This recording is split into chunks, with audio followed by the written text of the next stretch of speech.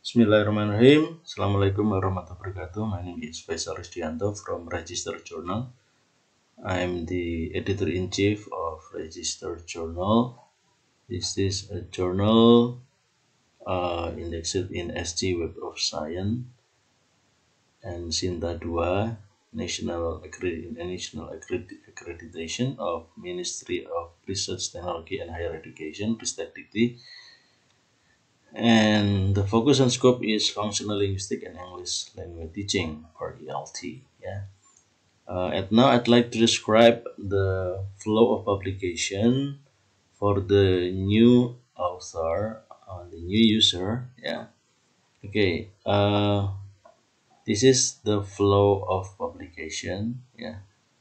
Uh, the first, if you submit your manuscript to register journal, the editor will check the template yeah uh, in P5 uh, paper size in MS Word yeah and then check this is it in, in accordance with the author guideline or guide for author yeah.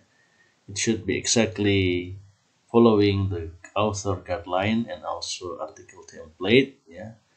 If in the initial review it is between two weeks until four weeks yeah. At least one month of the screening process yeah. There will be two option two option. The first is accepted the second is rejected yeah. If it is rejected it is over game over. But it is accepted it is proceed it will be uh, there is a section editor or editor screening, checking the template, the outer guideline, and then the second process it will be uh, there will be two reviewer. Yeah, if the reviewer one say yes, the reviewer two say yes, it will go to the next editing process. Yeah, it will be proofreading, copy editing, PDF layouting. But if uh, the first reviewer say yes, the second reviewer say no, there will be third reviewer yeah, who give the suggestion. Yeah. If there are two reviewers say yes and only one reviewer say no, it will be going to the next editing process. Yeah. Okay, so there will be proofreading, copy editing, PDF layouting, but on this process, if the reviewer they all agree, uh, most of the reviewer agree to the manuscript, there will be letter of acceptance. Yeah. I told uh, one author who asked via WhatsApp, uh, the initial review will be two weeks until four weeks. Yeah, we can say one one month of the review review screening process. It if it is proceed, it will be going on two month. Yeah, two month. But uh, uh, in another explanation, I said that the process of publication will be at least six months. Yeah because we know that uh, reviewer are reviewers are busy person. They are doctor they are professor they, they got many projects in their campus. Their uh, research uh, projects so that sometimes there are reviewer who give review for about four months. Yeah so i may say that the process review will be uh, five five six months. Yeah it is it is the the process that going on yeah? If you are lucky it will be only one month of uh, screening process and then two months of uh, the review reviewing process for from the reviewer. But it can be uh, four months of the process okay? Uh, this is the process as uh, editor-in-chief also I'd like to check like this yeah. Uh, check like this.